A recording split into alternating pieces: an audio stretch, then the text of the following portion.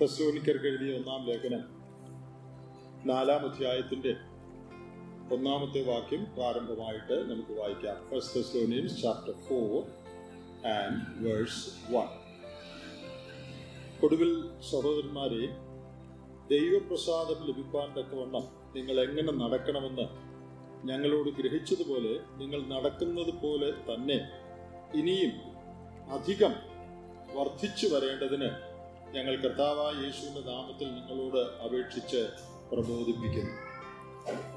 അപ്പസ്തനായ പൗലോസ് തെസ്ലോനിക്കയിലുള്ള വിശ്വാസികളെ ഓർപ്പിക്കുകയാണ് ദൈവപ്രസാദം ലഭിക്കാൻ തക്കവണ്ണം എങ്ങനെ നടക്കും? അത് ഓർത്ത് വേണം നടക്കുക. ദൈവപ്രസാദം ലഭിക്കാൻ തക്കവണ്ണം എന്ന് പറഞ്ഞാൽ in a manner pleasing to God അല്ലെങ്കിൽ ദൈവം എന്തെല്ലാം കാര്യങ്ങൾ പ്രസാദിക്കുമോ ആ കാര്യങ്ങൾ ചെയ്തുകൊണ്ട് ജീവിക്കണം. ആ കാര്യം നിങ്ങളെ പ്രത്യേകിച്ച് പ്രബോധിപ്പിക്കുന്നു എന്നാണ് പൗലോസ് ഓർപ്പിക്കുന്നത്. നാം തിരുവഴുത്ത് വായിക്കുമ്പോൾ അറുപത്തിയാറ് പുസ്തകങ്ങൾ വായിക്കുമ്പോൾ ദൈവത്തിൽ പ്രസാദമുള്ള കാര്യങ്ങൾ എന്തൊക്കെയാണ് എന്തൊക്കെയല്ല എന്ന് പൊതുവിൽ ഒരു ധാരണ നമുക്ക് കിട്ടും. ദൈവത്തിന്റെ സ്വഭാവം ദൈവത്തിന്റെ പ്രവൃത്തികൾ ഇതൊക്കെ നമുക്ക് വെളിപ്പാടിനാൽ ദൈവവചനത്തിൽ കൂടെ വെളിപ്പെടുത്തിയിരിക്കുന്നുണ്ട്. വേദപുസ്തകം വായിക്കുന്ന ആളുകൾക്ക് പ്രത്യേകിച്ച് ഒരു വാക്യം പറയാതെ തന്നെ ദൈവത്തിന് എന്തൊക്കെയാണ് പ്രസാദം ദൈവത്തിന് എന്തൊക്കെയല്ല പ്രസാദമെന്ന് സ്വാഭാവികമായിട്ട് അറിയാനായിട്ട് സാധിക്കും. എന്നാൽ അത് ശരിയാണെങ്കിലും വേദപുസ്തകത്തിൽ പലയിടത്തും ദൈവത്തിന് പ്രസാദമുള്ള കാര്യങ്ങൾ എന്തൊക്കെയാണ് ദൈവത്തിന് പ്രസാദം ഇല്ലാത്ത കാര്യങ്ങൾ എന്തൊക്കെയാണെന്ന് സ്പെസിഫിക് ആയിട്ട് പറഞ്ഞിട്ടുണ്ട്. ആ പറയാത്ത കാര്യങ്ങളും അതിൽ ഉൾപ്പെടുമെന്ന് ഞാൻ ആദ്യം പറഞ്ഞല്ലോ. എന്നാൽ പ്രത്യേക ചെടുത്ത് പറഞ്ഞിട്ടുണ്ട്.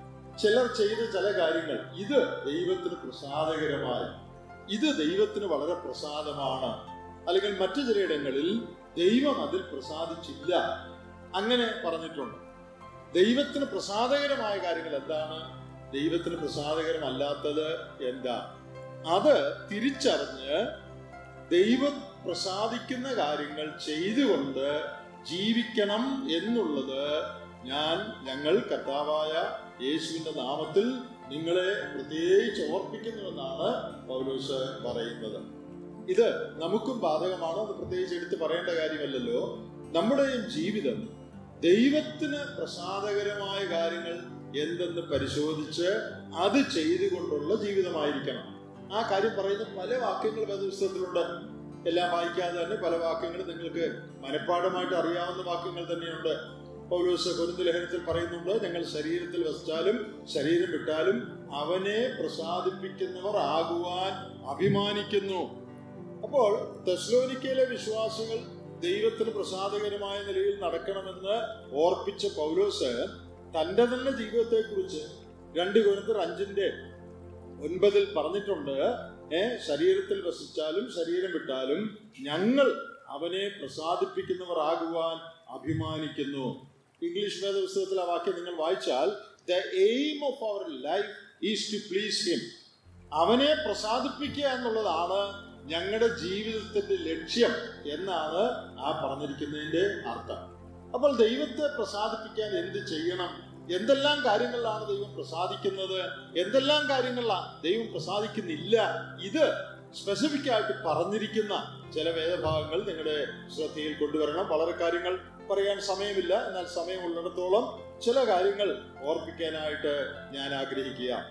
നമുക്ക് പ്രാരംഭമായിട്ട് എബ്രായ ലേഖനം ആറാം അധ്യായത്തിൽ വളരെ പ്രസിദ്ധമായ വളരെ പ്രധാനപ്പെട്ടത് എന്ന് നാം എല്ലാവരും വിചാരിക്കുന്ന ഒരു വാക്യം വായിച്ച് ആരംഭിക്കാം. എബ്രായ ലേഖനം ആറാമത്തെ അധ്യായം. ഇവിടെ ആറാം അധ്യായമല്ല സോറി പതിനൊന്നാമത്തെ അധ്യായം. എബ്രായ ലേഖനം പതിനൊന്നാം അധ്യായത്തിന്റെ ആറാമത്തെ വാക്യം. Hebrews eleven and word six എബ്രായർ പതിനൊന്നിന്റെ ആറ്. എന്നാൽ വിശ്വാസം കൂടാതെ ദൈവത്തെ പ്രസാദിപ്പിക്കാൻ കഴിയുന്നതല്ല.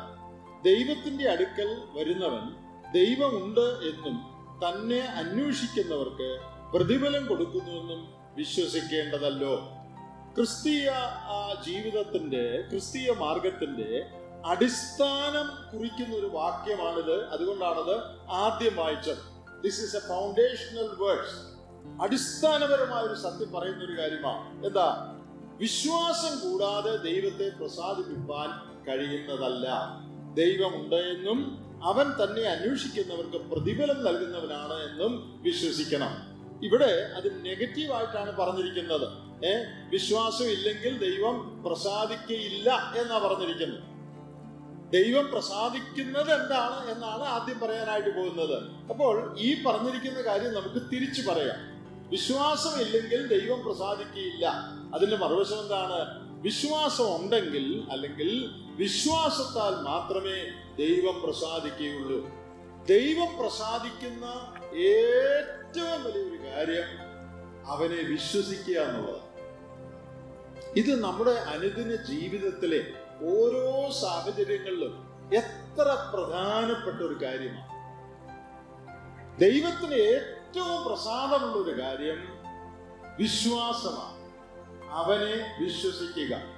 എന്താണ് ദൈവത്തെ വിശ്വസിക്കുക എന്ന് പറഞ്ഞാൽ? നമുക്കെല്ലാവർക്കും ദൈവവിശ്വാസമുള്ളവരാണ്. അതുകൊണ്ടാണ് നമ്മൾ പ്രാർത്ഥിക്കുകയും പാടുകയൊക്കെ ചെയ്യുന്നത്. അത് മതിയോ? ഒരു പൊതുവായൊരു ദൈവവിശ്വാസം മതിയോ? ദൈവമുണ്ട്. നമുക്കറിയാം. ആ വിശ്വാസമാണോ? അത് പോരാ. ദൈവം ഉണ്ടെന്നുള്ള വിശ്വാസം വേണം. എന്നാൽ ദൈവ ദൈവം പ്രസാദിക്കുന്ന വിശ്വാസം എന്ന് പറഞ്ഞാൽ എന്താ രണ്ട് പ്രധാനപ്പെട്ട കാര്യങ്ങൾ അതിനകത്ത് അടങ്ങിയിട്ടുണ്ട്.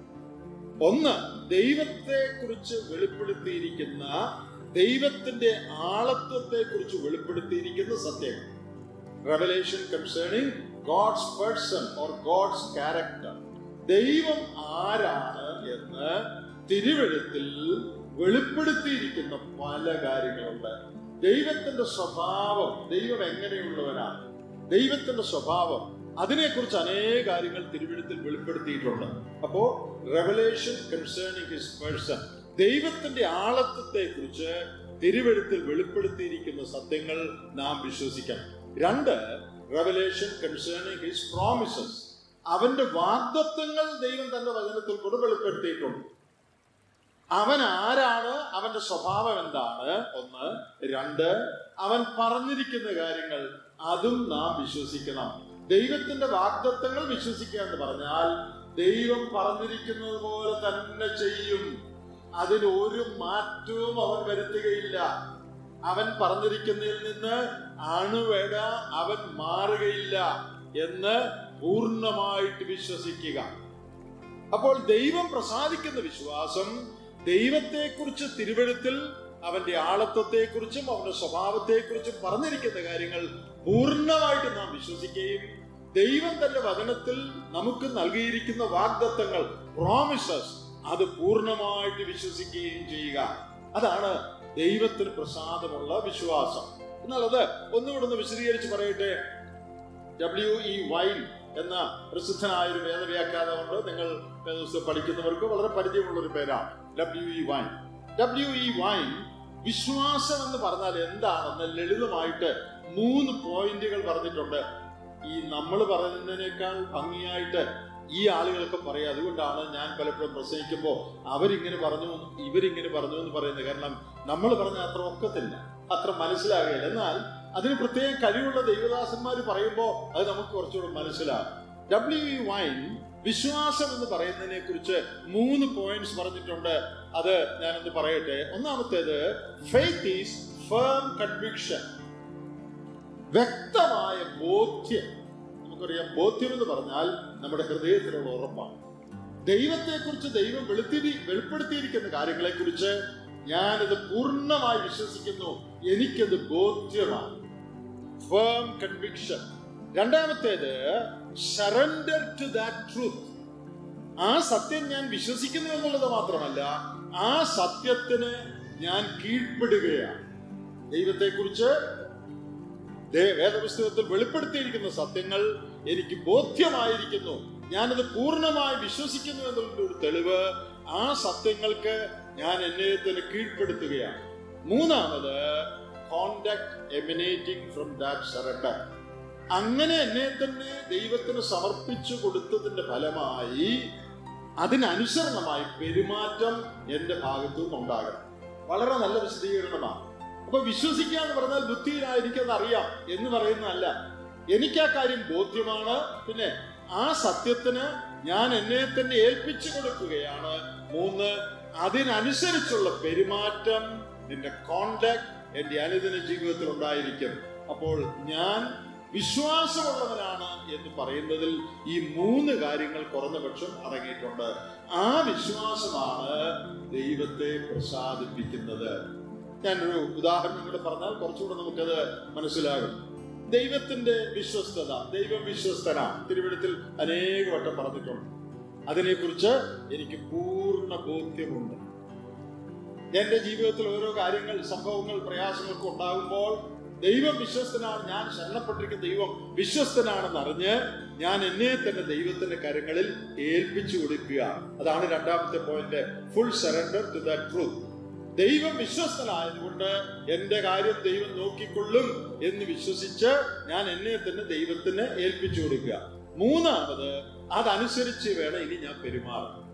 ഞാൻ എന്റെ കാര്യം മുഴുവൻ ദൈവത്തിന്റെ കയ്യിൽ ഏൽപ്പിച്ചു കൊടുത്തു എന്ന് പറഞ്ഞിട്ട് ഇനി ഞാൻ എങ്ങനെ ജീവിക്കണം? പിന്നെയും മനപ്രയാസപ്പെട്ടും രാത്രി തിരിഞ്ഞും പറഞ്ഞും കിടന്നും ഉറങ്ങാതെയും ആകുലപ്പെട്ടും ജീവിച്ചാൽ വിശ്വാസത്തിനനുസരിച്ചുള്ള പെരുമാറ്റം അല്ലാതെ വിശ്വാസത്തിനനുസരിച്ചുള്ള പെരുമാറ്റം എന്താ? ദൈവം വിശ്വസ്തമെന്ന് എനിക്ക് ബോധ്യമുണ്ട്. അതുകൊണ്ട് എന്റെ വിഷയം ദൈവത്തിന്റെ കയ്യിൽ ഞാൻ പൂർണമായി ഏൽപ്പിച്ചിരിക്കുന്നു. മൂന്നാമത് അതിനനുസരിച്ച് സമാധാനത്തോടും സമചിത്വതയോടും ആശ്വാസത്തോടും കോൺഫിഡൻസോടും കൂടെ ഞാൻ ജീവിക്കുകയാണ്. അതെല്ലാവർക്കും മനസ്സിലായി ഞാൻ വിചാരിക്കുന്നു. ഈ കാര്യം പത്രോസിന്റെ ലേഖനത്തിൽ പറഞ്ഞിട്ടുണ്ട്. ഡബ്ല്യു വൈൻ പറഞ്ഞ ഈ കാര്യം പത്രോസിന്റെ ലേഖനത്തിൽ പറഞ്ഞിട്ടുണ്ട്. അല്ലെങ്കിൽ പത്രോസിന്റെ ലേഖനത്തിൽ പറഞ്ഞിരിക്കുന്ന കാര്യമാണ് ഡബ്ല്യു വൈ പറഞ്ഞിരിക്കുന്നത് എന്ന് വേണമെങ്കിൽ പറയാം. ഞാൻ അതുകൂടെ ഒന്ന് കാണിക്കട്ടെ. പത്രോസിന്റെ ഒന്നാമത്തെ ലേഖനം രണ്ടാം അധ്യായത്തിലേക്ക് വരിക. അതിന്റെ പത്തൊൻപത് ഇരുപത് വാക്യങ്ങൾ വായിക്കുന്നു. First Peter chapter two verses nineteen and twenty ഒരുത്തൻ ദൈവത്തെക്കുറിച്ച് മനോബോധം നിമിത്തം ദൈവത്തെക്കുറിച്ചുള്ള മനോബോധം നിമിത്തം അന്യായമായി കഷ്ടവും ദുഃഖവും സഹിച്ചാൽ അത് പ്രസാദമാകുന്നു. നോക്കുക. ദൈവത്തിന് പ്രസാദമുള്ള ഒരു കാര്യം ഇവിടെ പറഞ്ഞിരിക്കുക. എന്താണ്? ദൈവത്തെക്കുറിച്ചുള്ള മനോബോധം നിമിത്തം അന്യായമായി കഷ്ടവും ദുഃഖവും സഹിക്കുന്നു. അത് ദൈവത്തിന് പ്രസാദകരമാണ്. അടുത്ത വാക്ക് നിങ്ങൾ കുറ്റം ചെയ്തിട്ട് അടികൊള്ളുന്നത് സഹിച്ചാൽ എന്ത്? യശസ്സുള്ളൂ. അല്ല നന്മ ചെയ്തിട്ട് കഷ്ടം സഹിച്ചാൽ അത് ദൈവത്തിന് പ്രസാദം. രണ്ട് പ്രാവശ്യം അത് ദൈവത്തിന് പ്രസാദമെന്ന് ഈ രണ്ട് വാക്യങ്ങളുണ്ട്. ദൈവത്തിന് പ്രസാദകരമായ രണ്ട് കാര്യങ്ങൾ. ആ രണ്ടും ഒരുമിച്ച് ചേർത്തങ്ങ് ഞാൻ പറയാണ് ദൈവത്തെക്കുറിച്ചുള്ള മനോബോധം നിമിത്തം അതായത് ഒരു ക്രിസ്ത്യാനി ആയതുകൊണ്ട് വിശ്വാസി ആയതുകൊണ്ട് അന്യായമായിട്ട് നന്മ നിമിത്തം നന്മ ചെയ്തിട്ട് കഷ്ടം അനുഭവിക്കുക. അത് ദൈവത്തിന് പ്രസാദകരമാണ്. അതെ നമ്മൾ മുമ്പ് പറഞ്ഞ മൂന്ന് പോയിന്റുമായിട്ട് ഇതിനെ എങ്ങനെയാ ബന്ധിപ്പിക്കുന്നത് അതും ഇവിടെ പറഞ്ഞിട്ടുണ്ട്. നാലാം അധ്യായത്തിലേക്ക് വരിക. ഒന്ന് പന്ത്രൂസ് നാലാം അധ്യായം. അങ്ങനെ പത്തൊൻപതാം വാക്യം. ജീവിതത്തിന്റെ ഏത് പരിസ്ഥിതിയിലും ദൈവത്തെ വിശ്വസിക്കണം എന്ന് മുമ്പേ ഞാൻ പറഞ്ഞല്ലോ. അതിന്റെ ഒരു വിശദീകരണം നാലിന്റെ പത്തൊൻപതിലുണ്ട്. അതുകൊണ്ട് ദൈവേഷ്ടപ്രകാരം കഷ്ടം സഹിക്കുന്നവർ നന്മ ചെയ്തുകൊണ്ട് തങ്ങളുടെ പ്രാണനെ വിശ്വസ്തനായ സൃഷ്ടാവിങ്കൽ അരമേൽപ്പിക്കട്ടെ. അപ്പോൾ വിശ്വാസം കഷ്ടതയുടെ മധ്യത്തിൽ അന്യായമായി മനോദുഃഖം അനുഭവിക്കുവാൻ ആവശ്യം വരുമ്പോൾ നാം ദൈവത്തിലുള്ള നമ്മുടെ വിശ്വാസം എങ്ങനെ പ്രാവർത്തികമാക്കണം എങ്ങനെ എക്സസൈസ് ചെയ്യണം എന്നാണ് ഈ വാക്യം പറയുന്നത്. എത്ര ഭംഗിയായിട്ട് എത്ര നല്ലതായിട്ടും വ്യക്തമായിട്ടുമാണ് ഈ കാര്യങ്ങൾ നമുക്ക് വേണ്ടി ദൈവം എഴുതി വെച്ചിരിക്കുന്നത്. നമ്മളത് മനസ്സിലാക്കി അതനുസരിച്ച് പെരുമാറിയാൽ മതി അന്യായമായി കഷ്ടവും സങ്കടവും അനുഭവിക്കുക. അങ്ങനെ അനുഭവിക്കുന്ന അനേക ആളുകളുണ്ട്. ഇവിടെ ഇരിക്കുന്നവരിലും ചെല്ലുക വിശ്വാസം നിമിത്തം. ക്രിസ്ത്യാനി ആയതുകൊണ്ട് വിശ്വാസി ആയതുകൊണ്ട് ദൈവത്തെ കുറിച്ചുള്ള മനോബോധം നിമിത്തം. ഞാനൊരു ദൈവജനാണ്. അതുകൊണ്ട് ഞാൻ എങ്ങനെ പെരുമാറാൻ പാടില്ല. എന്നുള്ള ബോധം നിമിത്തം അന്യായമായി കഷ്ടം സഹിക്കുക. ബന്ധുമിത്രാദികളുടെ നിന്ന് സ്വത്ത് വിഭജനത്തിന്റെ കാര്യത്തിൽ അല്ലെങ്കിൽ മറ്റു പല കാര്യങ്ങൾ അന്യായമായിട്ട് ചെന്ന് നമ്മളോട് പെരുമാറുക. പക്ഷെ അവർ പെരുമാറുന്നവർ നമുക്ക് പെരുമാറാൻ പറ്റുന്നില്ല. അതുകൊണ്ട് നമുക്ക് ചില സാമ്പത്തികമായിട്ട് മറ്റു നിലയിലൊക്കെ നഷ്ടം സഹിക്കേണ്ടി വരിക. നമുക്ക് വലിയ മനപ്രയാസമാണ് നമ്മുടെ ബന്ധുമിത്രാദികൾ പ്രിയപ്പെട്ടവരൊക്കെ അങ്ങനെ ഇടപെടുകയും പെരുമാറുകയും ചെയ്യുമ്പോൾ ഇവിടെ ഇരിക്കുന്ന നിങ്ങൾക്ക് പലർക്കും ആരുടെയും കാര്യം എനിക്ക് അറിയാൻ പാടില്ല. എന്നാലും ഞാൻ പറയുകയാണ് നമ്മുടെ സമൂഹത്തിൽ വളരെ ഉള്ളതുകൊണ്ട് ഇവിടെ ഇരിക്കുന്ന നിങ്ങളിൽ പലർക്കും ഇത് ഉണ്ടെന്ന് ഞാൻ വിചാരിക്കുക. അന്യായമായിട്ട് കഷ്ടം സഹിക്കുക. മറ്റുള്ളവർ നിങ്ങളെ ബുദ്ധിമുട്ടിക്കുക. ബന്ധുമിത്രാദികളോ സഹോദരങ്ങളോ അയൽക്കാരോ ഒക്കെ എന്തുകൊണ്ടാ ആ ബുദ്ധിമുട്ട് സഹിച്ച് നിങ്ങൾ മിണ്ടാതിരിക്കുന്നത്? ദൈവത്തെക്കുറിച്ചുള്ള മനോബോധം നിർത്തം ദൈവത്തെ അറിഞ്ഞുകൂടായിരുന്നെങ്കിൽ നമ്മളും പോയി കേസ് കൊടുത്തേനെ. ദൈവത്തെ അറിഞ്ഞുകൂടായിരുന്നെങ്കിൽ നമ്മളും ചീത്ത വിളിച്ചേനെ. ദൈവത്തെ അറിഞ്ഞുകൂടായിരുന്നെങ്കിൽ നമ്മളും വഴക്കുണ്ടാക്കിയേനെ എന്നാൽ വേണ്ട അത് വേണ്ട. അവരോട് പറഞ്ഞു നോക്കി അവർ കേൾക്കുന്നില്ല. അവർ അവിശ്വാസികളായതുകൊണ്ട് അതൊന്നും അവർക്ക് വിഷയമല്ല. നാം വിശ്വാസികളായതുകൊണ്ട് ദൈവത്തെ കുറിച്ചുള്ള മനോബോധം നിമിത്തം അന്യായമായിട്ട് നമ്മൾ കഷ്ടം സഹിക്കുക ആ സാഹചര്യത്തിൽ നമ്മുടെ ഫെയ്ത്ത് എങ്ങനെ എക്സസൈസ് ചെയ്യുന്നത് നമ്മുടെ വിശ്വാസം എങ്ങനെ പ്രവൃത്തിബദ്ധത്തിൽ വരും? ഇവിടെ എഴുതിയിട്ടുണ്ട് അങ്ങനെ കഷ്ടം സഹിക്കുന്നവർ എന്ത് ചെയ്യണമെന്നാണ് നാലിന്റെ പത്തൊമ്പത് അവർ തങ്ങളുടെ പ്രാണനെ വിശ്വസ്തനായ സൃഷ്ടാവിങ്കൽ ഭരണേൽപ്പിക്കാൻ അവിടെ വിശ്വാസത്തിന്റെ എക്സസൈസ് എന്താണെന്ന് നോക്കുക.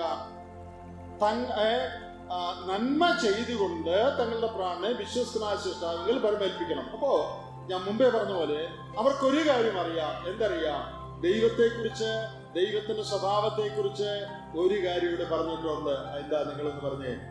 ദൈവത്തിന്റെ സ്വഭാവത്തെ കുറിച്ച് ഒരു കാര്യം ഈ വാക്യത്തിൽ പറഞ്ഞിട്ടുണ്ട്. എന്താ? അവൻ വിശ്വസ്തന. അവിടെ പറഞ്ഞിട്ടുണ്ട് അല്ലേ?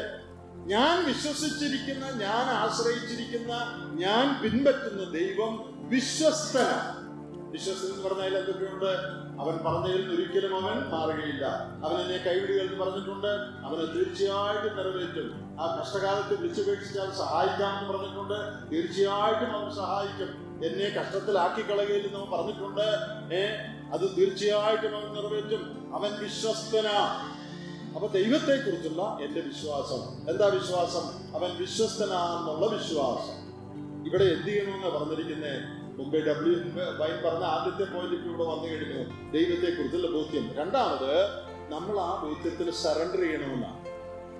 ആ ബോധ്യത്തിന് നമ്മെ തന്നെ ഏൽപ്പിച്ചു കൊടുക്കണം. ദൈവമേ നീ വിശ്വസ്തനാണ് എന്ന് ഞാൻ പൂർണമായി വിശ്വസിച്ച് എന്നെ നിന്റെ കരങ്ങളിലേക്ക് ഞാൻ പരമേൽപ്പിക്കുകയാണ് എന്നോട് ചേർത്ത് പറഞ്ഞിരിക്കുകയാണ് സൃഷ്ടാവിങ്കൽ പരമേൽപ്പിക്കാൻ അവിടെ ഇംഗ്ലീഷിൽ കമ്മിറ്റ് എന്നുള്ള വാക്കാണ് കമ്മിറ്റ് എന്നുള്ള ആ വാക്ക് നിങ്ങൾ ആ വാക്കിനെ കുറിച്ച് പഠിച്ചാൽ നോക്കിയാൽ മനസ്സിലാകും. Commit for safe deposit as in a bank എന്നാണ് ആ വാക്കിന്റെ അർത്ഥം. അതായത് ബാങ്കിൽ നാം ഒരു നിക്ഷേപം ബാങ്കിനെ ഏൽപ്പിക്കുന്നത് പോലെ അഞ്ചു വർഷത്തേക്ക് എന്റെ പതിനായിരം രൂപ ഞാൻ ബാങ്കിനെ ഏൽപ്പിക്കുക അവർ അഞ്ചു വർഷം കഴിയുമ്പോൾ പലിശയോടുകൂടെ എനിക്ക് മടക്കി തരുമെന്ന് എനിക്ക് പൂർണ വിശ്വാസമാണ്. ഒരു സംശയവുമില്ല. ബാങ്കിൽ കാശ് എത്തിക്കുന്നവർക്ക് ആർക്കും ഒരു സംശയവുമില്ല. ചില നാൾ കഴിയുമ്പോൾ അവരത് തിരിച്ചു തരും. അവിടെ ഡിപ്പോസിറ്റ് ബാങ്കിൽ ഡിപ്പോസിറ്റ് ചെയ്യാൻ ഉപയോഗിക്കുന്ന ഒരു ബാങ്കിങ് ടേമാണ് ഇവിടെ പരമേൽപ്പിക്കുക എന്ന് പറഞ്ഞിരിക്കുന്നത്. അപ്പോൾ അന്യായമായി കഷ്ടം സഹിക്കുന്ന ഒരാൾ ദൈവത്തിൽ വിശ്വസിക്കുന്ന ഒരാൾ എങ്ങനെ പെരുമാറും? എന്റെ ദൈവം വിശ്വസ്തനാണ് എന്നുള്ള ബോധ്യമായിക്കൊണ്ട് ഒന്ന്. രണ്ടാമത് അതുകൊണ്ട് ഈ വിഷയം ദൈവത്തിന്റെ കയ്യിൽ ഞാൻ ഏൽപ്പിച്ചു കൊടുക്കുകയാണ്. എന്റെ പെരുമാറ്റത്തിൽ അപ്പൊ വ്യത്യാസം വരും. എന്താ പെരുമാറ്റത്തിലുള്ള വ്യത്യാസം? ഈ അന്യായം ചെയ്യുന്നവരോട് ഞാൻ പിണങ്ങുകയാണ് ഈ അന്യായം ചെയ്യുന്നവരോട് ഞാൻ ചീത്ത പറയുകയില്ല. എനിക്കെതിരെ പ്രവർത്തിക്കുന്നവരോട് എന്റെ പെരുമാറ്റത്തിലുള്ള വ്യത്യാസം എന്താ? ഞാൻ നോർമലായിട്ട് പെരുമാറും. ഞാൻ സ്നേഹമായിട്ട് പെരുമാറും. എന്താ കാര്യം? എന്റെ കാര്യം വിശ്വസ്തനായ സൃഷ്ടാവിന്റെ ഞാൻ പരിമേൽപ്പിച്ചിരിക്കുക ദൈവം വിശ്വസ്തനായതുകൊണ്ട് തക്ക സമയത്ത് ഈ കാര്യത്തിൽ വേണ്ടത് ദൈവം ചെയ്തു കൊള്ളും God will act on my behalf എനിക്ക് വേണ്ടി ദൈവം ആകാശം ചായച്ച് തക്ക സമയത്ത് ഇറങ്ങി വരും. ദൈവത്തിന്റെ കരം ദൈവം എനിക്ക് വേണ്ടി ചലിപ്പിക്കും. ഞാൻ ആ ദൈവത്തിലാണ് വിശ്വസിച്ചിരിക്കുന്നത്. ആ വിശ്വാസത്തോടു കൂടെ എന്റെ കാര്യം ദൈവത്തിന്റെ കയ്യിൽ ഞാൻ ഡിപ്പോസിറ്റ് ചെയ്തിരിക്കുക. ഇനി അതിനെക്കുറിച്ച് ഞാൻ ഭാരപ്പെടണ്ട. ബാങ്കിൽ ഒരാളെ കാശ് കൊണ്ടിട്ടാൽ എല്ലാ ദിവസവും അത് ഓർത്തോണ്ട് കഴിയുമോ അഞ്ചു വർഷം കഴിഞ്ഞ് ഇവർ തരുമോ അതോ ബാങ്കുകാരെല്ലാവരും കൂടെ തിന്നുമോ എന്നൊന്നും ആരും ഓർക്കുന്നില്ല അല്ലേ? ഏൽപ്പിച്ച വിശ്വാസമാണ് നമുക്ക്. ബാങ്കിൽ ഇത്രയും വിശ്വാസം ഉണ്ടെങ്കിൽ ജീവിതത്തിൽ എന്തുമാത്രം വിശ്വാസം നമുക്ക് വേണം? അപ്പോൾ എന്റെ പെരുമാറ്റത്തിൽ ഉണ്ടാകുന്ന വ്യത്യാസം എന്താ? ഞാൻ സമാധാനമായിട്ടിരിക്കുക. ഞാൻ ആശ്വാസമായിട്ടിരിക്കുക. ഞാൻ സന്തോഷമായിട്ടിരിക്കുക പ്രശ്നമുണ്ടോ? പ്രശ്നമുണ്ട്. അത് പരിഹരിക്കപ്പെട്ടോ? പരിഹരിക്കപ്പെട്ടില്ല. അന്യായമായി കഷ്ടം സഹിക്കുന്നുണ്ടോ? സഹിക്കുന്നുണ്ട്. പക്ഷെ അതിന്റെ മധ്യത്തിൽ എന്റെ പെരുമാറ്റം നോർമലായിരിക്കുന്നത് എന്തുകൊണ്ടാണ് ദൈവത്തിലുള്ള എന്റെ വിശ്വാസം കൊണ്ട് അവന്റെ വിശ്വസ്തതയിൽ ഞാൻ ആശ്രയിക്കുന്നത് കൊണ്ട് ഇനി എനിക്ക് വളരെ നന്നായിട്ട് തോന്നിയിട്ടുള്ള ഒരു കാര്യം കൂടി ഈ വാക്യത്തിലുണ്ട്. ഏ നന്മ ചെയ്തുകൊണ്ട് അങ്ങനെ ചെയ്യണം. ഈ കഷ്ടം ഉണ്ടായത് എന്തുകൊണ്ടാണ് എന്തുകൊണ്ടാ? ഈ കോണ്ടെക്സ്റ്റ് നിങ്ങൾ മുകളിൽ വായിച്ചാൽ മനസ്സിലാവും. നന്മ ചെയ്യാൻ പോയിട്ടാണ് ഈ കഷ്ടം ഉണ്ടാകും അല്ലേ? നന്മ ചെയ്യാൻ വെറുതെ വീട്ടിൽ കുത്തിയിരുന്നെങ്കിൽ ഒരു കഷ്ടം ഉണ്ടാകില്ലായിരുന്നു. ഗുണം ചെയ്യാൻ പോയി നന്മ ചെയ്യാൻ പോയി ക്രിസ്ത്യാനിയായിട്ട് നന്മ ചെയ്യാൻ പോയി. അതുകൊണ്ടാണ് കഷ്ടം ഉണ്ടായിരിക്കുന്നത്. നമ്മൾ ഒരു നന്മ ചെയ്യുമ്പോൾ കഷ്ടം ഉണ്ടായാൽ നമ്മുടെ ആദ്യത്തെ പ്രതികരണം എന്തായിരിക്കും ആത്മാർത്ഥ സത്യസന്ധമായിട്ടൊന്ന് പറഞ്ഞേ. നമ്മൾ ഒരാൾക്ക് സഭയിൽ തന്നെ ആകട്ടെ ഒരാൾക്ക് ഗുണം ചെയ്യാൻ പോയി വേറെ ഒരു നിർദ്ദേശമില്ല. വളരെ ഗുണം ചെയ്യാൻ പോയി ഗുണം ചെയ്യാൻ പോയപ്പോ അത് സഭയിലുള്ള ബാക്കിയുള്ളവർക്ക് തെറ്റിദ്ധരിച്ച് നമ്മളെ കുറിച്ച് അതും ഇതും പറയുകയും വിഷമിപ്പിക്കുകയും ചെയ്യാൻ പോയി. ഉടനെ നമ്മുടെ പ്രതികരണം എന്താ? എന്താ ഗുണം ചെയ്യലൊക്കെ ഇതോടെ ഗുണം ചെയ്യലൊക്കെ മതി. ഇനി യോഗത്തിന് വരും. ഒരു കാര്യത്തിൽ ഞാൻ ഏർപ്പെടുന്നില്ല ആർക്കും ഗുണവും ചെയ്യാൻ പോകുന്നില്ല ദോഷവും ചെയ്യാൻ പോകുന്നില്ല. ഗുണം ചെയ്യലൊക്കെ നിർത്തിയിരിക്കുന്നു. എക്സ്ട്രാ കരിക്കുലർ ആക്ടിവിറ്റി ഒന്നും ഇനി വേണ്ട. യോഗത്തിന് വരും അപ്പം ഒരിക്കലും വീട്ടിൽ പോകും അപ്പൊ ആർക്കും വഴക്കില്ലല്ലോ പ്രശ്നമില്ലല്ലോ? ഈ ഗുണം ചെയ്യാനും സഹായിക്കാനും പോകുമ്പോഴല്ലേ വിമർശനമൊക്കെ ആ പരിപാടിയെല്ലാം ഞാൻ നിർത്തി. ഇതല്ലേ നമ്മുടെ പ്രതികരണം. ഇത് ദൈവത്തിന് അറിയാം ഇതാണ് നമ്മുടെ പ്രതികരണം. അതുകൊണ്ട് അവിടെ പറഞ്ഞിരിക്കുക അങ്ങനെ കഷ്ടം സഹിക്കുമ്പോ you should continue to do good ഇംഗ്ലീഷിലെ ചില തർജമകൾ നിങ്ങൾ വായിച്ചാൽ നന്മ ചെയ്തുകൊണ്ട് എന്നുള്ളത് കണ്ടിന്യൂയിങ് ടു ഡു ഗുഡ് നന്മ ചെയ്യുന്ന നിർത്തികളല്ലേ നന്മ ചെയ്തുകൊണ്ടാണ് ഇപ്പൊ ചീത്ത കേൾക്കുന്നത്. അതുകൊണ്ട് ഇനി നന്മയൊന്നും ചെയ്യുന്നില്ല. ഞാൻ യോഗത്തിന് വരുന്ന മാത്രമേ ഉള്ളൂ എന്ന് പറയരുത്. നീ എന്ത് ചെയ്യണം? നീ തുടർന്നും നന്മ ചെയ്തുകൊണ്ടിരിക്കണം. തുടർന്നും നീ നന്മ ചെയ്തുകൊണ്ടിരിക്കുന്നത് നീ ദൈവത്തെ വിശ്വസിക്കുന്നു എന്നുള്ളതിന്റെ ഒരു തെളിവാണ്. എനിക്ക് ദൈവത്തെ വിശ്വാസമില്ലെങ്കിൽ ദൈവം ഇത് സെറ്റിൽ ചെയ്ത് തരുമെന്ന് എനിക്ക് വിശ്വാസമില്ലെങ്കിൽ നന്മ എല്ലാം കൂട്ടിക്കെട്ടി ഞാൻ വീട്ടിയിരിക്കും എന്നാൽ ഞാൻ പിന്നെയും എന്തുകൊണ്ടാണ് നന്മ ചെയ്യുന്നത്? ചീത്ത കേട്ടിട്ടും എനിക്ക് വിശ്വാസമുണ്ട്. എന്ത് വിശ്വാസമുണ്ട്? എന്റെ ദൈവം വിശ്വസ്തനാണ്. അവൻ ന്യായമായിട്ട് തക്ക സമയത്ത് ഈ കാര്യം ചെയ്യും. ഈ ഒന്ന് പത്രോസിൽ തന്നെ വളരെ കഷ്ടം അനുഭവിച്ചതിന്റെ മധ്യത്തിൽ ന്യായമായി വിധിക്കുന്നവെങ്കിൽ കാര്യം പരമേൽപ്പിച്ച ഒരാളുടെ കാര്യം പറഞ്ഞിട്ടുണ്ടല്ലേ? ഒന്ന് പത്രോസ് രണ്ടിൽ നമ്മുടെ കർത്താവിന്റെ കാര്യം പറയാണ് അന്യായമായിട്ട് കഷ്ടം ഒരു കാര്യവുമില്ല. അന്യായമായിട്ട് അവൻ കഷ്ടം സഹിച്ചപ്പോ അവൻ എന്ത് ചെയ്തു? ശകാരിച്ചിട്ട് പകരം ശകാരിക്കാതെ കഷ്ടം അനുഭവിച്ചിട്ട് ഭീഷണം പറയാതെ ന്യായമായി വിധിക്കുന്നവെങ്കിൽ കാര്യം പരമേൽപ്പിക്കത്രേ ചെയ്തത്. പ്രിയപ്പെട്ടവരെ ഒന്ന് പത്രോസ് രണ്ടിന്റെ ഏഹ് ഇരുപത്തി ഒന്ന് മുതൽ താഴോട്ടുള്ള വാക്യങ്ങളിൽ വായിക്കുമ്പോൾ ആ കാര്യം പറഞ്ഞു. നമ്മുടെ അതിന് മാതൃക കർത്താവ് ഏതിന് മാതൃക? അന്യായമായി കഷ്ടം സഹിക്കുമ്പോൾ പിതാവായ ദൈവത്തെ വിശ്വസിച്ച് അവന്റെ കയ്യിൽ കാര്യങ്ങൾ ഏൽപ്പിച്ചു കൊടുക്കുക എന്നുള്ളത് ചെയ്യുന്ന കാര്യത്തിൽ നമുക്ക് മാതൃകയാണ് നമ്മുടെ കർത്താവ്. നോക്കിയേ ദൈവവചനത്തിൽ നമ്മുടെ അനുദിന ജീവിതത്തിലെ പ്രശ്നങ്ങൾ പ്രയാസങ്ങളൊക്കെ നേരിടാൻ എത്ര പ്രാക്ടിക്കൽ ആയിട്ടുള്ള പ്രായോഗികമായ നിർദ്ദേശങ്ങളാണ് ദൈവവനത്തിൽ തന്നിരിക്കുന്നത്. എനിക്ക് പലപ്പോഴും വളരെ സന്തോഷം തോന്നിയിട്ടുണ്ട്. പലപ്പോഴും പ്രസംഗിക്കുമ്പോൾ ഞാനത് പറയുകയും ചെയ്യാറുണ്ട്. വേദപുസ്തകം എന്തോ പ്രാക്ടിക്കൽ ചില വിചാരിച്ചിരിക്കുന്ന വേദപുസ്തകം പറഞ്ഞാൽ ഒരു മനുഷ്യൻ മനസ്സിലാകാത്ത കടിച്ചാൽ പൊട്ടാത്ത കുറേ ഫിലോസഫി പറഞ്ഞിരിക്കുന്ന പുസ്തകമാണ്. അങ്ങനല്ല. പ്രയാസമുള്ള കാര്യങ്ങൾ ഉണ്ടെന്നുള്ളത് ശരിയാണ് എന്നാൽ തിരുവെടുത്ത് അനുദിന ജീവിതത്തിലെ ഓരോ വൈഷമ്യങ്ങളുടെയും എന്ത് ചെയ്യണമെന്ന് പറഞ്ഞിരിക്കുക. നമ്മുടെ വിഷയം എന്താ? നമ്മുടെ വിഷയം ദൈവത്തെ പ്രസാദിപ്പിക്കുക എന്നുള്ളതാണ്. അതിൽ ഒന്നാമത്തെ പോയിന്റ് ദൈവം ഏറ്റവും പ്രസാദിക്കുന്നത് ഞാൻ ദൈവത്തെ വിശ്വസിക്കുന്നു. God is happy God is pleased when I fully വിശ്വസിക്കുക എന്ന് പറഞ്ഞാൽ ആരാണെന്നും അവന്റെ സ്വഭാവം എന്താണെന്നും വേദപുസ്തകത്തിൽ വെളിപ്പെടുത്തിയിരിക്കുന്നത് അതേപടി വിശ്വസിക്കുകയും മാത്രമല്ല അവന്റെ വാഗ്ദത്വങ്ങൾ അവൻ അവൻ അതിൽ നിന്ന് പുറകോട്ട് പോവുകയില്ല അവന്റെ ആളത്വം അവന്റെ വാക്കുകൾ അത് വിശ്വാസയോഗ്യമാണ്. എനിക്കെന്നും ആശ്രയിക്കാമെന്ന് ഞാൻ തീരുമാനിക്കുകയാണ്. അതിന്റെ പ്രായോഗിക വശമാണ് മൂന്ന് കാര്യങ്ങൾ നമ്മൾ ചിന്തിച്ചത്. ഒന്ന് നമുക്കുള്ള ബോധ്യം. രണ്ട് ആ കാര്യത്തിന് നമ്മെ തന്നെ ഏൽപ്പിച്ചു കൊടുക്കുന്നത്. മൂന്ന് അതിനനുസരിച്ചുള്ള പെരുമാറ്റം. ഞാൻ വിശ്വസിക്കുന്നെങ്കിൽ എന്റെ ജീവിതത്തിൽ അതിനനുസരിച്ചുള്ള വ്യത്യാസം പെരുമാറ്റം ഉണ്ടാകും ദൈവം പ്രസാദിക്കുന്ന കാര്യം. ഞാൻ പഴയ നിയമത്തിൽ നിന്ന് ദൈവത്തിന് ഏറ്റവും പ്രസാദകരമായ ഒരു കാര്യം എന്ന് എഴുതിയിരിക്കുന്ന ഒരു ഭാഗങ്ങൾ എന്ന് വായിച്ചു കേൾപ്പിക്കട്ടെ. പുതിയ നിയമത്തിൽ അനേക ഭാഗങ്ങളുണ്ട്. എന്നാൽ പഴയത്തിലുണ്ട് ചില ഭാഗങ്ങൾ. അതിൽ ഒരു ഭാഗം ഒന്ന് ഞാൻ ഓർപ്പിക്കാൻ ആഗ്രഹിക്കുകയാണ്. ഒന്ന് രാജാക്കന്മാർ മൂന്നാം അധ്യായം. ഒന്ന് രാജാക്കന്മാർ മൂന്നാം അധ്യായം. അവിടെ എല്ലാം വായിക്കുന്നില്ല സമയ ചുരുക്കം കൊണ്ട് അതിന് നാല് മുതൽ നമ്മൾ വായിക്കുമ്പോൾ ശലോമോന് ദൈവം സ്വപ്നത്തിൽ പ്രത്യക്ഷനായി നിനക്ക് വേണ്ടുന്ന വരം ചോദിച്ചു കൊള്ളുക നിനക്ക് എന്താ വേണ്ടത് എന്ന് ചോദിച്ചു. ഫസ്റ്റ് ചാപ്റ്റർ ത്രീ അപ്പോൾ ശലോമോൻ മറുപടി പറഞ്ഞു ഒൻപതാം വാക്യം നോക്കുക. ഫസ്റ്റ് ത്രീ നയൻ ആകയാൽ ഗുണവും ദോഷവും തിരിച്ചറിഞ്ഞ് നിന്റെ ജനത്തിന് ന്യായപാലനം ചെയ്യുവാൻ വിവേകമുള്ളൊരു ഹൃദയം എനിക്ക് തരയണമേ. അതുകൂടാതെ നിന്റെ ഈ വലിയ ജനത്തിന് ന്യായപാലനം ചെയ്യുവാൻ ആർക്ക് കഴിയും? ശലോമോ ഈ കാര്യം ചോദിച്ചത് കർത്താവിന് പ്രസാദമായി. ദൈവം പ്രസാദിച്ച ഒരു കാര്യം പത്താമത്തെ വാക്യത്തിലുണ്ട്. ഒരാൾ ചെയ്ത ഒരു കാര്യം ദൈവത്തിന് വളരെ പ്രസാദമായി. വേറെ പലരുടെയും കാര്യങ്ങൾ പ്രസാദമായതും പ്രസാദമാകാഞ്ഞതും വാക്യങ്ങളുണ്ട്. അതിലോട്ടൊന്നും പോകാനിപ്പോൾ നമുക്ക് സമയമില്ല. അതുകൊണ്ട് ഈ ഒരു വാക്യം ഞാൻ ഇപ്പോൾ എടുക്കുകയാണ്. ഇത് ചോദിച്ചത് ദൈവത്തിന് പ്രസാദമാണ്. എന്താ ദൈവത്തിന് അതിൽ പ്രസാദമായത്? ധനമോ മാനമോ മഹത്വമോ ചോദിക്കാതെ ദൈവത്തിന്റെ ജനത്തെ ന്യായമായും നീതിയായും ദൈവം നിർദ്ദേശിച്ചിരിക്കുന്ന വഴിയിൽ നീതിയുടെ വഴിയിൽ നടത്തുവാൻ ഗൈഡ് ചെയ്യുവാൻ ആവശ്യമുള്ള വിവേകം ജ്ഞാനം വേണം എന്ന് ബാക്കി എല്ലാ കാര്യത്തെക്കാൾ ഉപരിയായി ചോദിച്ചത് ദൈവത്തിന് വളരെ പ്രസാദമാണ്.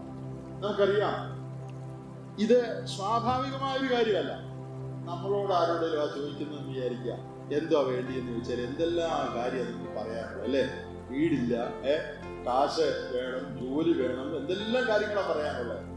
ശലോമ് ചോദിച്ചത് പണമല്ല അവൻ ജ്ഞാനം. എന്തിനാ ജ്ഞാനം? ദൈവത്തിന്റെ ഇതപ്രകാരം ജനത്തെ ഭരിക്കുക. ശലോമൻ എന്താ അങ്ങനെ ചോദിക്കേണ്ട കാര്യം? ഏ ശലോമോനും പണം ചോദിക്കരുതാണ് എനിക്ക് ഏ ഒത്തിരി പണം വേണം അല്ലെങ്കിൽ എത്ര എനിക്ക് ഫേമസ് ആകണം ഇങ്ങനൊക്കെ ചോദിക്കാറുണ്ട് എന്താ ചോദിക്കാഞ്ഞത്? അതിനൊരു ക്ലൂ വേദപുസ്തകത്തിൽ വേറൊരിടത്തുണ്ട്. ആ ക്ലൂശ് അത് നിങ്ങൾ സമ്മതിക്കുമെന്ന് ഞാൻ വിചാരിക്കുകയാണ്. സദൃശിവാക്യം നാലിലേക്ക് ഒന്ന് വന്നേ സദൃശിവാക്യം നാല്. അതിന്റെ മൂന്ന് മുതൽ വായിക്കുന്നു. ഫോർ വേഴ്സ് ത്രീ ഞാൻ എന്റെ അപ്പനും മകനും എന്റെ അമ്മയ്ക്ക് ഓമനയും ഏകപുത്രനുമായിരുന്നു. അവൻ എന്നെ പഠിപ്പിച്ച് എന്നോട് പറഞ്ഞത് ഞാൻ കൊച്ചായിരുന്നപ്പോ എന്റെ അപ്പൻ ദാവീദ് ശലോമം പറയാണ് എന്നോട് പറഞ്ഞത്. എന്റെ വചനങ്ങളെ ഹൃദയത്തിൽ സംഗ്രഹിച്ചു കൊടുക്കുക എന്റെ കൽപ്പനകളെ പ്രമാണിച്ച് ജീവിക്കുക ജ്ഞാനം സമ്പാദിക്കുക വിവേകം നേടുക മറക്കരുത്. എന്റെ വചനങ്ങളെ വിട്ട് മാറുകയും വരുത് അതിനെ ഉപേക്ഷിക്കരുത്. അത് നിന്നെ കാക്കും. അതിൽ പ്രിയം വെക്കുക. അത് നിന്നെ സൂക്ഷിക്കും. ജ്ഞാനം തന്നെ പ്രധാനം. ജ്ഞാനം സമ്പാദിക്കുക നിന്റെ സകല സമ്പാദ്യത്താലും വിവേകം നേടുക. അതിനെ ഉയർത്തുക. അത് നിന്നെ ഉയർത്തും. അതിനെ ആലിംഗനം ചെയ്താൽ അത് നിനക്ക് മാനം വരുത്തും. അത് നിന്റെ തലയെ അലങ്കാരമാലി അണിയിക്കും. അത് നിന്നെ ഒരു മഹത്വ കിരീടം ചൂടിക്കും. മകനെ കേട്ടന്റെ വചനങ്ങളെ കൈക്കൊള്ളുക എന്നാൽ നിനക്ക് ദീർഘായുസുണ്ടാകും ജ്ഞാനത്തിന്റെ മാർഗം ഞാൻ നിന്നെ ഉപദേശിക്കുന്നു. അത്രയും മതി. എല്ലാവർക്കും മനസ്സിലായല്ലോ? ഞാൻ ബാലനായിരുന്നപ്പോൾ എന്റെ അപ്പൻ ചെറുപ്പം മുതലേ ഒരു കാര്യം പറഞ്ഞ് പഠിപ്പിച്ചത്. എന്താ പഠിപ്പിച്ചത്? എന്റെ മകനെ നീ ജ്ഞാനം യഥാർത്ഥ ജ്ഞാനം എന്താണെന്ന് സദൃശിവാക്ക് ഒന്നിന്റെ ഏഴിൽ ശലോമോൻ തന്നെ പറഞ്ഞിട്ടുണ്ട്. എന്താ അത്? എന്താ യഥാർത്ഥ ജ്ഞാനം? യഹോവ ഭക്തി ജ്ഞാനത്തിന്റെ ആരംഭം. ശലോമോൻ തന്നെ പറഞ്ഞിരിക്കും. അപ്പോൾ യഥാർത്ഥ ജ്ഞാനം യഹോഭക്തിയുമായിട്ട് ബന്ധപ്പെട്ടത് അത് ജീവിതത്തിൽ ഏറ്റവും പ്രധാനമായിട്ട് നീ പെർസ്യൂ ചെയ്യണം. അതിന്റെ പിന്നാലെ നീ പോകണം. പണം ഉണ്ടാക്കാനോ പ്രസിദ്ധിക്കോ സുഖസൗകര്യമായ ജീവിതത്തിനോ ആഡംബര ജീവിതത്തിനോ അല്ല നീ പോകേണ്ടത്. നീ ജ്ഞാനം സമ്പാദിക്കണം. അതാണ് ജീവിതത്തിൽ ഏറ്റവും വലുതെന്ന് അപ്പൻ ചെറുപ്പം മുതലേ പറഞ്ഞ് പഠിപ്പിച്ചത് കൊണ്ട് ബാലൻ വലുതായി. ഒരു ദിവസം എന്ത് ദൈവം എന്ത് വേണമെന്ന് ചോദിച്ചപ്പോൾ ഞാൻ വിചാരിക്കുന്നു ശരമോഹന് ഒരു സംശയം തോന്നിക്കാണുക നമ്മളോട് വല്ലതും അങ്ങോട്ട് ചോദിച്ചാൽ ഞാനൊന്ന് ചിന്തിക്കിട്ടുണ്ട് നാളെ പറയാം. കാരണം പോയിന്റുകളെല്ലാം എഴുതി റെഡിയാക്കട്ടെ എന്തൊക്കെയാ വേണ്ടത് ചിന്തിക്കാൻ ഒരു സമയം വേണ്ടേ? കാരണം പല കാര്യം വേണം. വീട് വേണം കാശ് വേണം കാർ വേണം നൂറ് കാര്യം വേണം. അതൊന്നും ഒന്ന് ചിന്തിക്കണ്ടേ. ശലോം ഞാൻ വിചാരിക്കുന്നു ഒട്ടും സമയം ചോദിച്ചു കാണില്ല എന്തോ വേണോ അയ്യോ ഞാൻ റെഡിയാ. എന്തിനാ റെഡി? എനിക്ക് ജ്ഞാനം വേണം. എന്താ നീ അങ്ങനെ ചോദിക്കാൻ കാര്യം? ഞാൻ ബാലനായിരുന്നപ്പോൾ എന്റെ അപ്പൻ എന്നെ പറഞ്ഞ് പഠിപ്പിച്ചിട്ടുണ്ട് ജ്ഞാനമാണ് പ്രധാനം. അതിനെ നീ ആലിംഗനം ചെയ്താൽ അത് നിന്നെ ആലിംഗനം ചെയ്യും. നിനക്കത് മഹത്വ കിരീടമായിരിക്കും അതിനെ നീ പിൻപറ്റണം. അത് ചോദിച്ചത് ദൈവത്തിന് വളരെ പ്രസാദകരമാണ് പ്രിയപ്പെട്ടവരെ ശലോമന്റെ വ്യത്യസ്തമായ ഒരു സാഹചര്യമാണ് നമുക്കെന്നുള്ളത് ശരിയാണ് എന്നാൽ ഇവിടെ ഒരു പ്രമാണം ഒരു പ്രിൻസിപ്പിൾ അത് നമുക്ക് എല്ലാവർക്കും എന്താ പ്രമാണം എന്നറിയാമോ?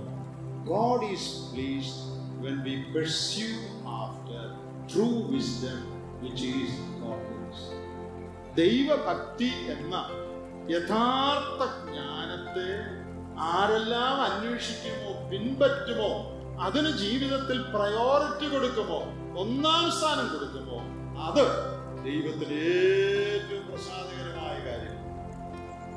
പ്രിയപ്പെട്ടവരെ ഈ കാലയളവിൽ നമ്മുടെയൊക്കെ വീടുകളിൽ നമ്മുടെയൊക്കെ കുഞ്ഞുങ്ങളുള്ള ബന്ധത്തിൽ എത്രയോ പ്രസക്തമായ ഒരു കാര്യമാണ് അനേക ഭവനങ്ങളിൽ വളരുന്ന കുഞ്ഞുങ്ങൾ വിശ്വാസികളുടെ വീടുകളിൽ വളരുന്ന കുഞ്ഞുങ്ങൾക്ക് തന്നെ ചെറുപ്പം മുതൽ മനസ്സിൽ ലഭിക്കുന്ന ധാരണ നമ്മൾ അവർക്ക് കൊടുക്കുന്ന ധാരണ സൗന്ദര്യമാണ് ഏറ്റവും.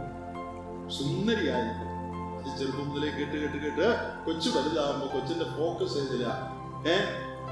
കറുത്ത ചില ആളുകൾ എങ്ങനെയെങ്കിലും വെളുക്കാനായിട്ട് കഠിന പരിശ്രമം ചെയ്ത് അതിനിപ്പോ ആപ്പ് ഉണ്ടെന്നാ പറയുന്നത്.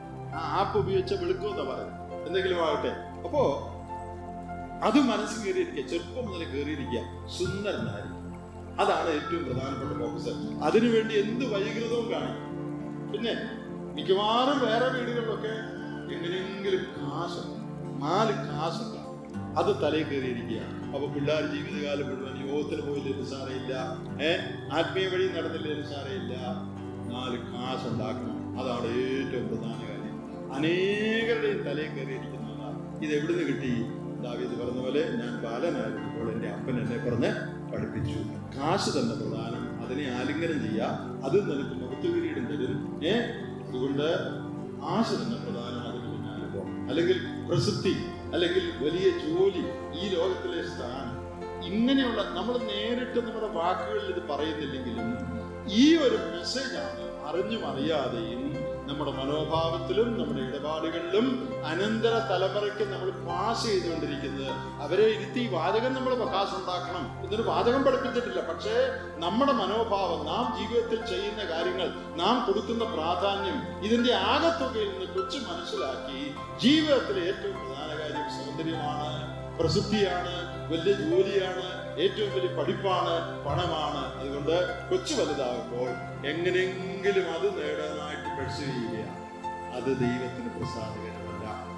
പഠിക്കാൻ കഴിയുന്ന കഴിവുള്ള പിള്ളേർക്ക് പഠിക്കാൻ അവസരം കൊടുക്കണം. വേണമെന്ന് പറയല്ല. നല്ല ജോലി കിട്ടുന്നവർക്ക് സന്തോഷം. നമുക്ക് സന്തോഷമാണ്. ഏ നല്ല സാമ്പത്തികമായിട്ട് കുഞ്ഞുങ്ങൾ ഉയർന്നെങ്കിൽ നല്ല കാര്യം. അതിനും നമ്മൾ എതിരില്ല. പക്ഷേ അതല്ല ജീവിതത്തിൽ പ്രധാനം.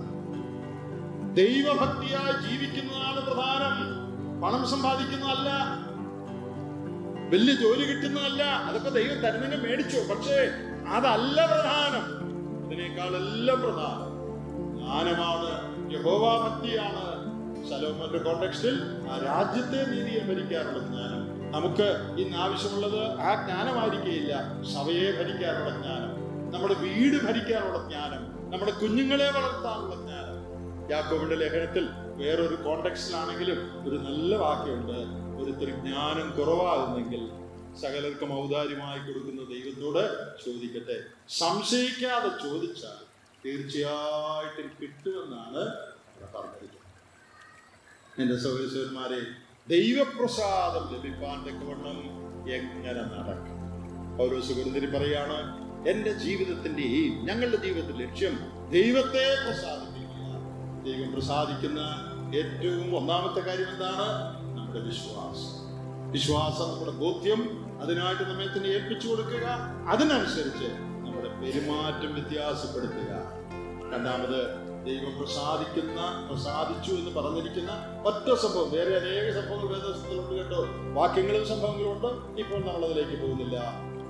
ദൈവത്തിന് പ്രസാദമുള്ള പ്രവൃത്തി ദൈവത്തിന് പ്രസാദമുള്ള ജീവിതശൈലി എന്ന് പറയുന്നത് നിലനിൽക്കുന്ന കാര്യങ്ങളെ പിൻപറ്റുകയും അത് പിൻപറ്റുവാൻ നമ്മുടെ അനന്തര തലമുറയെ നാം പരിശീലിപ്പിക്കുകയും ചെയ്യുക.